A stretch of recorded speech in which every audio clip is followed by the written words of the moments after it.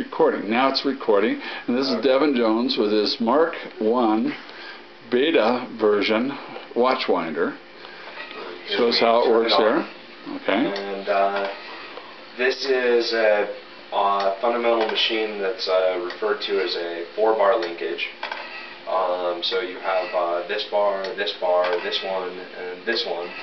And um, the uh, motion of this bar around causes this to uh, move back and forth.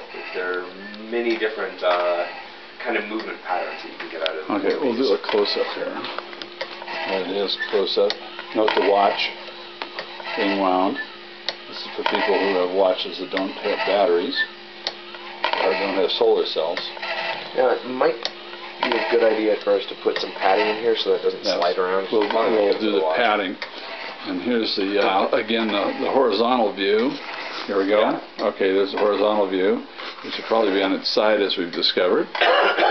Anyway, now, congratulations. And then we have also, for, to add a little bit more spice to the whole movie, we have Monica off to the side who's going to step into the picture here and, and now display the uh, Mark Vanna White it. Yes, Vanna White. Very good. Good job. Good job.